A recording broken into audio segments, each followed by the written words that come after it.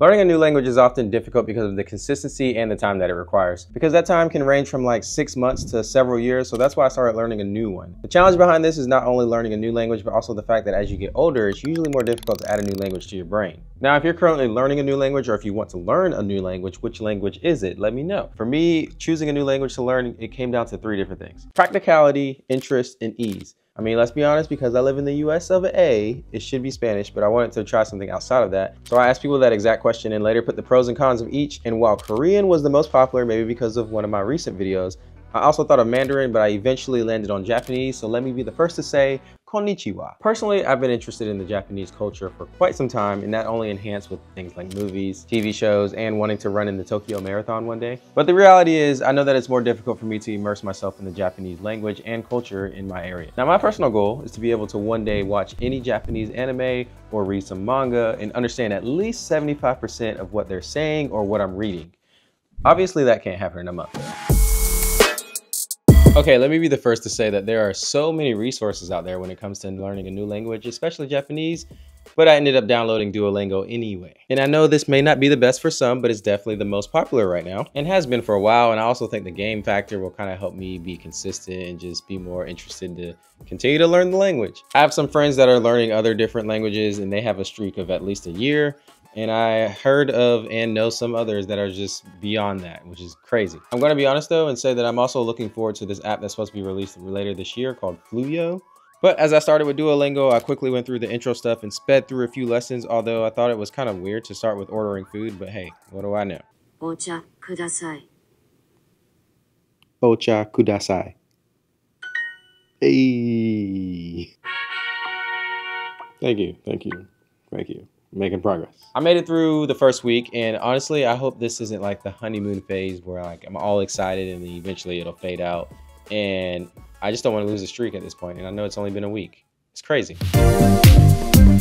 Now, throughout the units, you hit these doors that make you learn about the Japanese alphabet before continuing, which by the way, the Japanese writing system has three different parts. I'll try to pronounce them correctly, but we'll see how this goes. You got hiragana, katakana, and kanji. And so far, we've been chilling right here. And as I continued, I realized that like there wasn't that much repetition when it came to learning all these various characters. And so I began to forget a lot of them. And because of that, I think I jumped the gun a little bit. Sure. Yeah, so I went and got a journal uh, I found a video that went through each character and I drew each one five times and wrote how to pronounce them. After doing this, I was like, is this a good idea? And then I was like, no idea. uh, but what's done is done at this point. Two main things happened. I started watching more videos that help explain things a little further and I joined Super Duolingo because I was getting tired of those ads. Power up with Super Duolingo, the advanced way to learn a language. A few days after I started learning Japanese, my friend Michael started learning Mandarin because his wife is fluent in it. His wife started learning Japanese and Spanish. His cousin is currently learning Italian, and Abigail wants to get back onto learning Spanish. Thus, we joined the Super Duolingo family plan. The more people, the better and cheaper. On top of all this, I also don't know if this was a good idea, but I started watching other people's experience while learning the Japanese language, even though I know that like people learn differently. And the main reason I kept looking at other people's experiences because I was getting frustrated, I'm not gonna lie, with the words sore and kore as far as like the, the grammar behind it, because it was kicking my butt. So I took a lot of L's this week, I'm not gonna lie, it was kind of sad. Of course, Duolingo was happy to remind me in my progress report in my email that clearly I'm on the decline but I didn't want to let that hurt my motivation. How's your uh, your your Mandarin training going? I do it every day before I go to sleep. How many how many lessons would you say you do a day though? Uh, I used to be like three, four, right. Five. Yeah, exactly. That's, but now that's, that's I feel I kind of feel like it's a little bit of a chore right now because oh, there's a lot oh, going no. on. So I just do one to two. But you're doing it just because you want to keep the streak alive. Correct. That's literally it. Okay, yes. it's interesting. But so you, I, one would say you're more afraid of the bird than the actual app or whatever. You know I'm what I'm afraid say. of the bird. it's interesting. Out of all the words that I've learned so far, the hardest one to pronounce is Barajirujin. Barajirujin, which just means Brazilian, but it just gets me sometimes because you would think that characters like these are pronounced Ra, Ri, and Ru, but no. For some reason, the R is pronounced differently, so it's pronounced La, be, and do. And my English mind just can't comprehend that and it just trips me up every single time. But I at least know the symbols, I think. And I did think about like making myself some flashcards, but Duolingo also lets you just practice with the words that you've learned so far. So in my case, it's just 48 words. They also let you learn the characters whenever you want, which now makes it seem like my journal was just extra work. But I am a firm believer in like the odds of you remembering something when you actually write it down is way higher than if you were to put it in your phone or something like that. So throughout this week, I eventually hit 30 days, but day 33 was actually four weeks somehow, and I'm currently on section one, unit five, and according to this email, I did better this week versus any other week. Onward and upward, as they say. I actually don't know anybody that says that. Yeah, No, He's Canadian. Let's go. It's big. Okay, this.